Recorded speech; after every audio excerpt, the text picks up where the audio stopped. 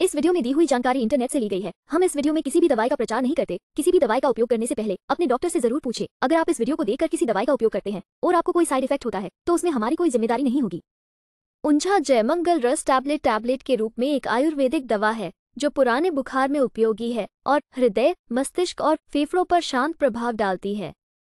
इस दवा में भारी धातु के तत्व होते हैं, इसलिए इसे केवल सख्त चिकित्सकीय देखरेख में ही लिया जाना चाहिए। उत्तर भारतीय आयुर्वेदिक अभ्यास में इस दवा का सबसे अधिक उपयोग किया जाता है। चलिए जानते हैं इसके कुछ फायदों के बारे में।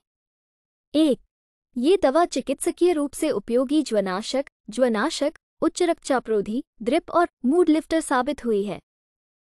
दो, ये पुराने और रुक रुक कर होने वाले बुखार के उपचार के लिए उपयोगी एक आयुर्वेदिक सूत्रीकरण है। तीन यह एक रक्त प्रसादक है, जिसका हृदय, मस्तिष्क और फेफड़ों पर शांत प्रभाव पड़ता है। चार, ये टैबलेट बुखार, सामान्य कमज़ोरी और तपेदी के उपचार में सहायक है।